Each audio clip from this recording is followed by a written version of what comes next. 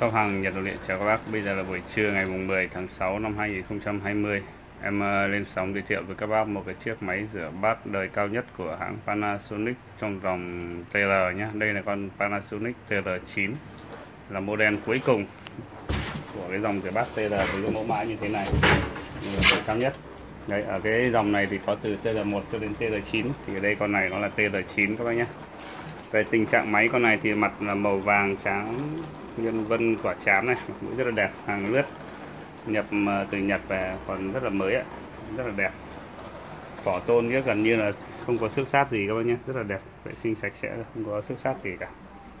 Các đầu hồi quay cho các bác xem rất là đẹp. Đấy. chung là một con máy khá hoàn hảo.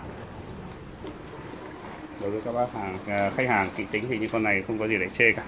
Đây là Panasonic TR9 con này. Đấy, mặt à, máy màu vàng rất là đẹp bên trong cũng đã vệ sinh rất là sạch sẽ rồi.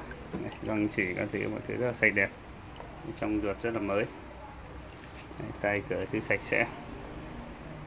Dòng TL9 này thì nó là đỉnh cao nhất của thằng dòng TL rồi. Rửa 6 bộ các bác nhé. Dòng máy nhập rửa 6 bộ bắt đũa. Xếp 12 bát con này. Nói là 6 bộ nhưng mà thực ra nó xếp vào rất là nhiều. Nhà 78 người ăn 9 người ăn xếp thoải mái. Đấy. Con TL9 này thì em bán là 12 triệu nhé. Giá chưa có phí vận chuyển, chưa có đổi nguồn. Ờ, ship hàng toàn quốc. Các bác ở xa mua thì vui lòng đặt cọc trước cho em 500 nghìn nhé. Nhận hàng các bác thanh toán nốt. Đấy. Dòng máy hàng rất rất là đẹp. Còn em để số 3 này. Đã test ok rồi. Các bác nào có nhu cầu mua thì các bác cứ gọi cho em báo lấy con số 3 nhé. Gặp 9 à, ờ, Cảm ơn các bác.